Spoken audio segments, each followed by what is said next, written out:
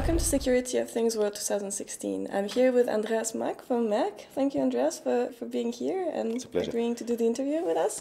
So, um, which, which security projects are you currently working on at Merck? No, that's a variety of, of uh, different topics. Uh, one uh, bigger project relates to ID management, identity management. Another activity goes around physical security, enhancing our physical world. Uh, and most important, of course, is anything that goes around IP protection, data leakage prevention, and our IP in innovation strategy.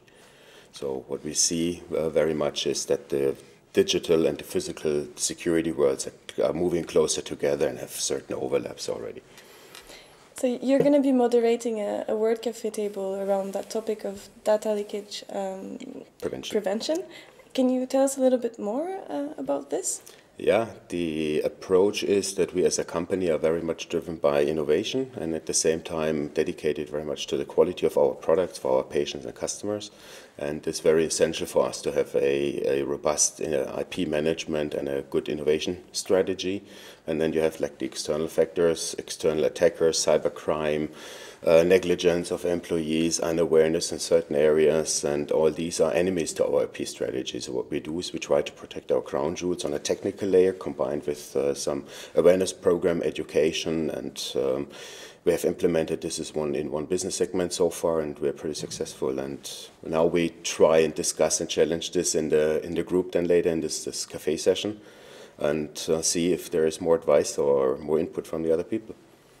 So you you are the chief security officer at Merck, and very much so involved in the security strategy of the, the company.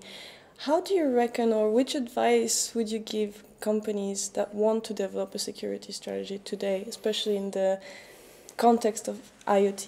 Mm -hmm.